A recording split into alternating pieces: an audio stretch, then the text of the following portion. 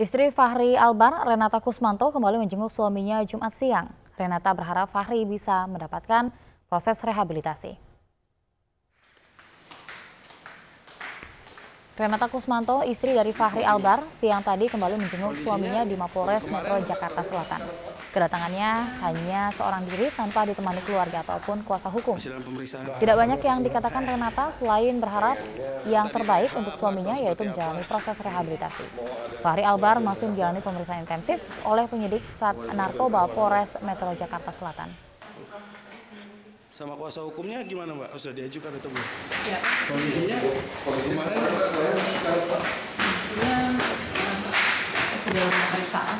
masih dalam pemeriksaan. Kenapa? Direhab atau seperti apa? Iya direhab. Iya. Nggak tahu sih juga masih proses aja semua sih. Sama kuasa hukumnya gimana Mbak? Sudah diajukan atau belum? Udah. Mau doain aja. Iya Mbak.